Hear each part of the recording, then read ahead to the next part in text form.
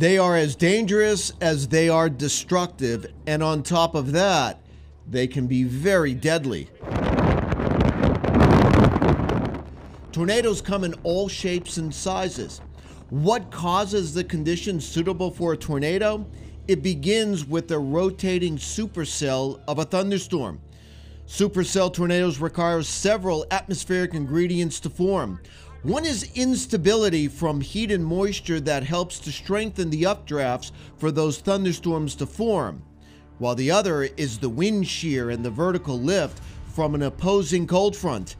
That causes those rotating updrafts called mesocyclones and tornadoes descend down from the mesocyclone.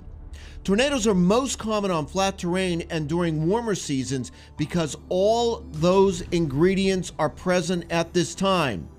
It is important to note though, if the ingredients are available for tornadoes to form, they will form any time at any place. For AccuWeather, I'm meteorologist Bernie Rayno.